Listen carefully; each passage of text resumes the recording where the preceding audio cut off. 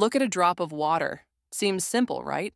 But this ordinary molecule has an extraordinary superpower. It's sticky.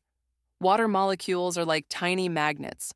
The oxygen end carries a slight negative charge, while the hydrogen ends are slightly positive.